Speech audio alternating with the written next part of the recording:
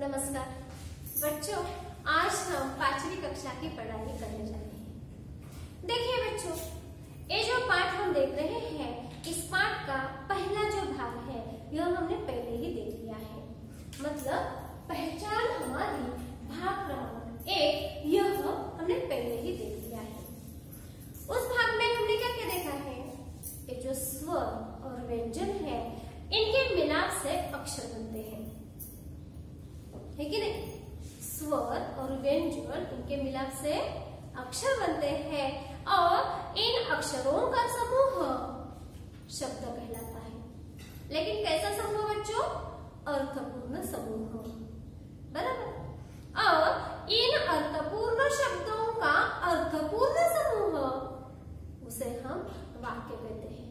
है कि और इन्हीं अर्थपूर्ण वाक्यों से हम एक दूसरे में संवाद करते हैं है कि नहीं यह हमने पिछली कक्षा पिछली कक्षा को मतलब इस भाग पहले भाग में हमने देख लिया है बराबर उस भाग में हमने स्वर और व्यंजन इनके बारे में भी जानकारी ले ली है साथ ही साथ स्वर जैसे कि वैसे शब्दों में आते ही हैं।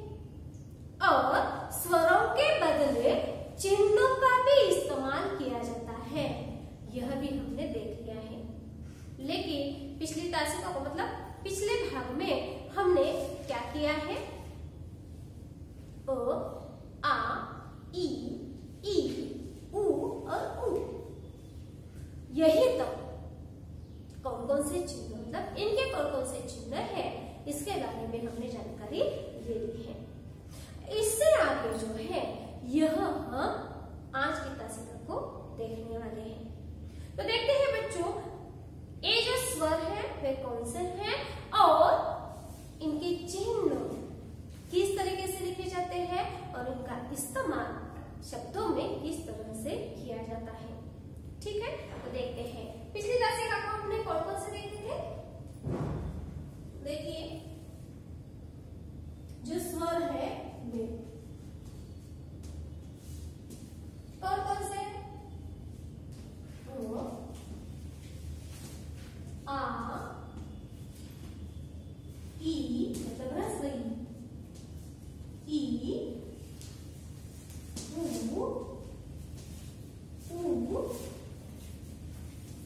Okay.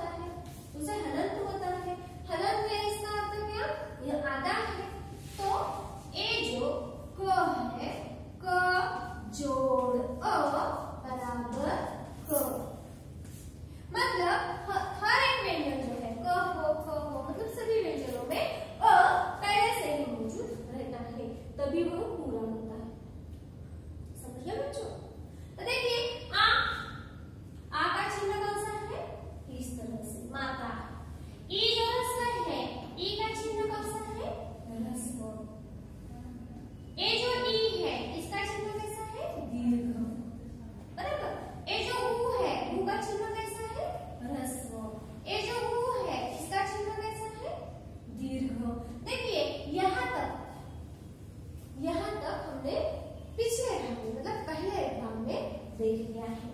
अब यहाँ से आगे देखते हैं। ये जो है, इसका चिन्ह ऐसा है।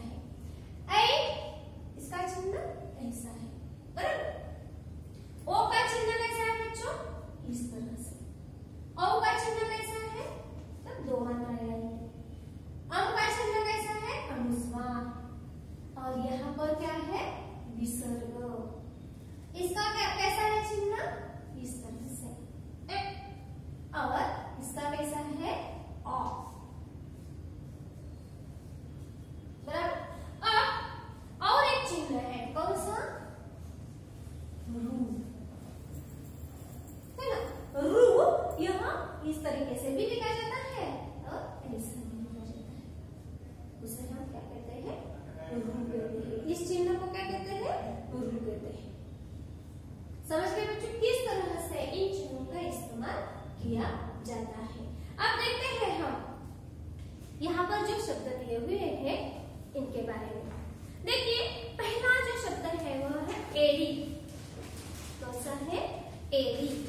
एडी मतलब मराठी में टास यहाँ पर चित्र में निकाला गया है। एडी एडी मतलब हमारा जो पैर है।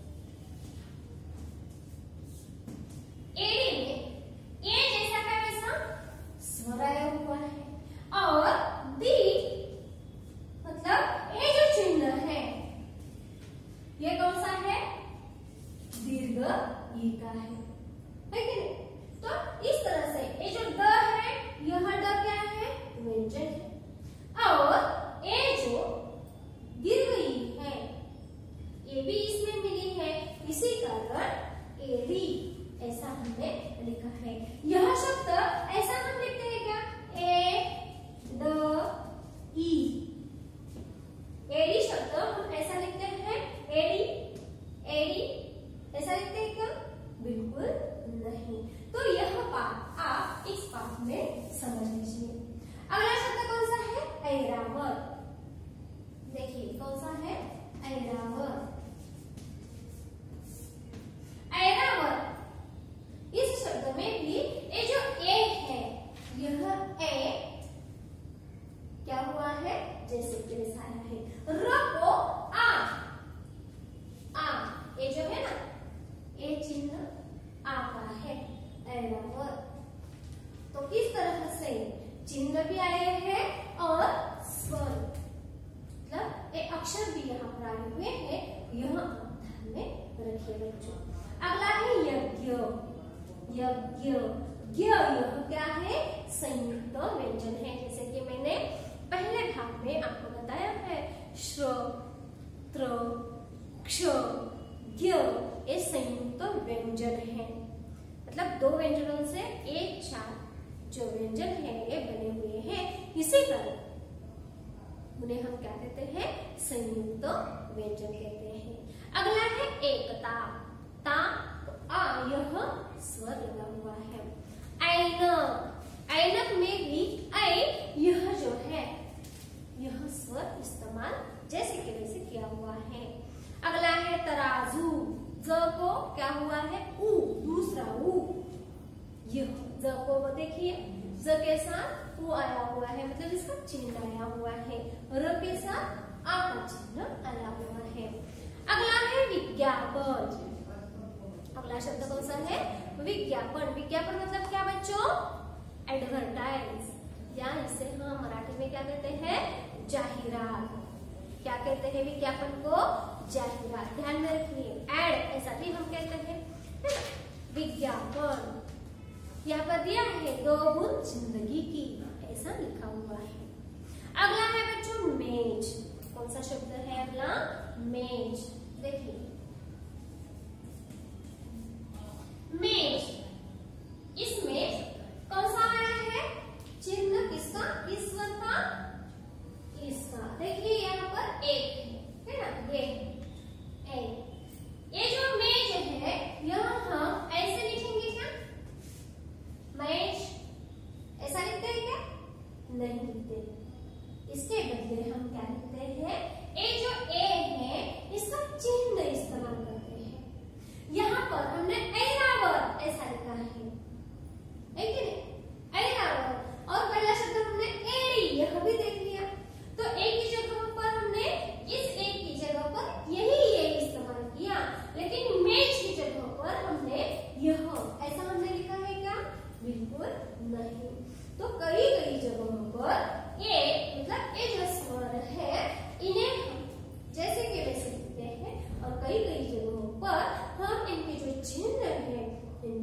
करते हैं। ठीक है? यहाँ पर मेष की जगह पर मेष, ऐसा लिखा है, मेष मतलब उच्चारण में क्या आता है? विस्तार आता है। है ना? मेष हम झट से कहते हैं। यहाँ पर पढ़ने के लिए ही हमें देर लगती है? इसी कारण महेश ऐसा होता है महेश मेष। समझ गए बच्चों, इस तरह से उच्चारण में फ़र्क पड़ता है।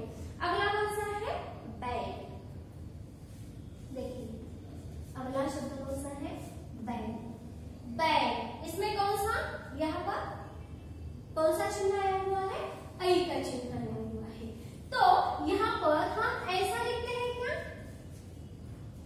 बैल बैल ऐसा लिखते हैं क्या नहीं लिखते हम क्या लिखते हैं बैल। क्योंकि ये जो है, इसके लिए हम इस मात्रा का प्रयोग करते हैं। बराबर? इसी कारण यहाँ पर बैल ऐसा न लिखते हुए बैल ऐसा शब्द हम लिखते हैं। समझ रहे हैं बच्चों? स्वर और व्यंजनों का मिलाप करके मतलब उन्हें इकट्ठा लाकर हम शब्द बना रहे हैं। समझ गए? अगला देखिए, अगले शब्द कौन कौन से है? यह हम देखते हैं। आगे देखिए कौन सा है? ओढ़नी। कौन सा है? ओढ़नी। ओढ़नी में देखिए। ओढ़नी। ओढ़नी मतलब मतलब क्या? महिलाएँ या बच, बच्चियाँ मतलब लड़कियाँ अपने सीने पर जो दुपट्टा लेती है है ना? उसे ओढ़नी कहा जाता है। इसे दुपट्टा भी कहा जाता है। वह ओढ़नी। देखिए बच्चों इस शब्द में ए ओ क्या है ओ क्या है स्वर ही है उसका इस्तेमाल यहाँ पर जैसे कि वैसा किया हुआ है अगला है ढ और नी न के साथ दीर्घ ही आई हुई है मतलब ये जो चिन्ह है यहाँ पर ये जो चिन्ह है यह जो चिन्ह है यह इसके लिए इस्तेमाल किया हुआ है दीर्घ ई के लिए समझ रहे हैं यहाँ पर स्वर जैसे कि आया हुआ है, और यहाँ पर स्वर ही है, लेकिन चिन्ह के साथ आया हुआ है। ठीक है बच्चों अगला शब्द कौन सा है देखिए? गाजर। कौन सा है? गाजर। यहाँ पर देख, ग के साथ आ का इस्तेमाल ग तो है ही यह एक व्यंजन है इसके साथ और एक चिन्ह आया हुआ है और यह चिन्ह किसका है बच्चों किसका है आ का है मतलब यहाँ पर ग जोड़ आ मतलब गा हुआ गाजर अगला है गुड़हल कौन सा है गुड़हल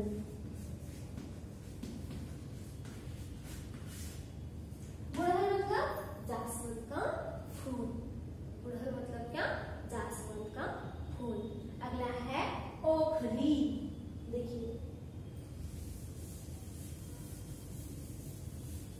यहाँ पर चित्र में भी दिया हुआ है अगला कौन सा है ओखली यहाँ पर भी देखिए बच्चों बच्चों कि किस तरह से ये जो ओ है जैसे कि वैसा स्वर आया हुआ है और ल में दीर्घ ई दीर्घ ई इसका चिन्ह जोड़ दिया गया है अगला है औरत औरत शब्द में भी क्या हुआ है? औ, यह स्वर, जैसे कि वैसा आया हुआ है। और, औरत मतलब महिला।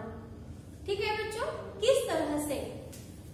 ये जो शब्द है, ये शब्द स्वर और व्यंजनों से बनते हैं। यह ठीक है बच्चों, इसका अगला भाग हम अभिता को देखते हैं। धन्यवाद।